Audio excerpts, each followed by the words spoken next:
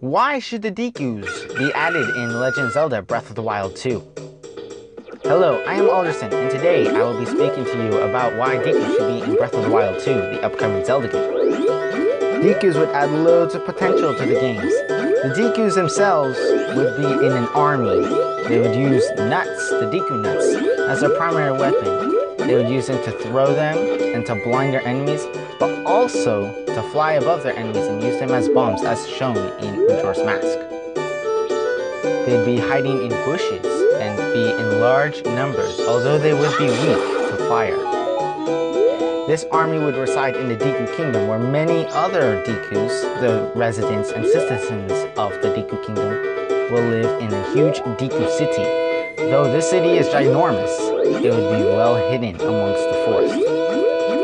This Deku Kingdom would be similar to the Majora's Mask, but much more fleshed out, with its own lore and history behind it. It would have shops, inns, and even side quests. The Deku Kingdom would be at war against the monsters of the Forest Temple. The Forest Temple monsters would be led by the evil spider Gohma, who would be the main boss of the Forest Temple. The history and new lore of this new culture of the Dekus in Breath of the Wild 2 will be discovered through Easter eggs, old heroes sung in tales, and even temples scattered across the Lost Woods.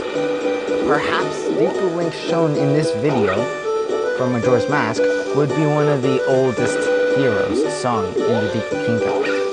This would add much more variety in, not variety, but perhaps a connection between the older Zelda games and Breath of the Wild and Breath of the Wild 2.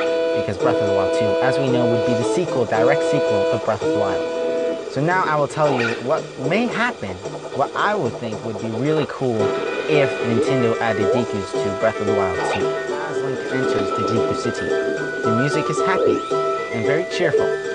The Deku citizens are busy in their shops and little farms. It's a very bustling city, very hidden, very well hidden The palace is grand, but also well hidden.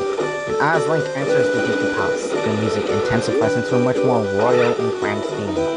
The theme itself would resemble the Deku Palace theme as shown in this video. The Deku King is angry because of the war against Gohma and her minions, who reside deep within the Forest Temple. The story would include a battle within Deku City, where Link and the Deku army must defend the city against the onslaught of monsters. Link must enter the dungeon after he slays these monsters to slay Gohma and end the war. There will be a festival celebrating the hero's return, and this will also open up new quests, lore, and much more to the Deku City and its people. I think the Dekus would be a very, very valuable asset, and it would add a lot of variety, not just to the forests of Hyrule or the swamps or wherever they may reside, but to the entire game. Because you see, Zoras and Gorons, they have a lot of history, they have a lot to them as a race of people, but if you look at the Koroks, I mean, yeah, Breath of Wild 2 should have Koroks, but the Koroks are more of a side attraction Breath of the Wild, whereas the Force never really had its own race, not like the Kokiri or the Dekus in older games. I believe that the Dekus would be a very, very valuable asset to Breath of the Wild 2. As you can see in the footage, the Dekus can get very riled up.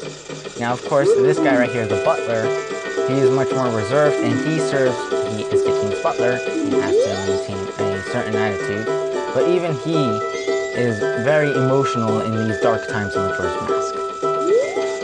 Perhaps the Dekus would not be a warmongering tribe, but either way, adding Dekus to Breath of the Wild 2 would be very cool.